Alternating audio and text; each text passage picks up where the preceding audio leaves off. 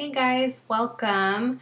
I'm excited you're here today because this is hopefully going to be a nice, short, and sweet one for you. I'm going to be covering um, how to get to Emerald, Emerald rank. I know that lots of people hear about that one. That's your first big accomplishment and your first big rank advancement in the business as a coach.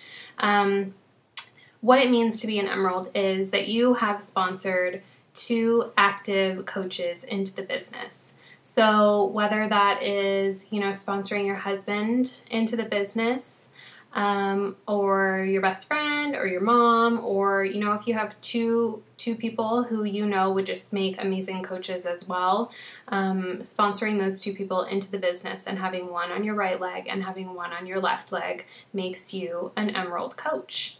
Um, what it means to be Emerald is that you are now eligible for Team Cycle bonuses, which is a really big deal. Um, and I do cover Team Cycle bonuses and volume and all of that good stuff in one of our other training videos.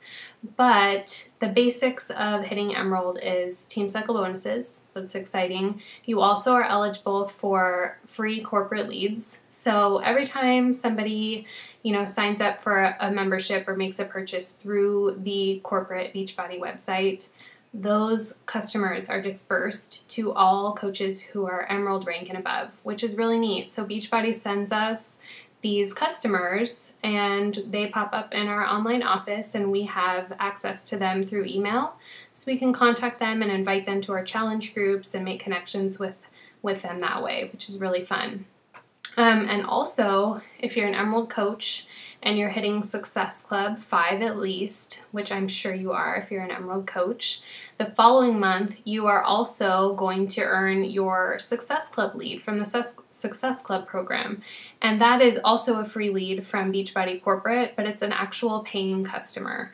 So, next month, after you've hit Success Club and earned Emerald rank, next month you're going to get that customer and earn that commission from that customer and you didn't even have to do a thing other than get to Emerald and be awesome. So really cool. Um, Emerald is an exciting thing to to accomplish and it's a pretty you know quick goal. Some people do it really quick within their first week or two of being in the business.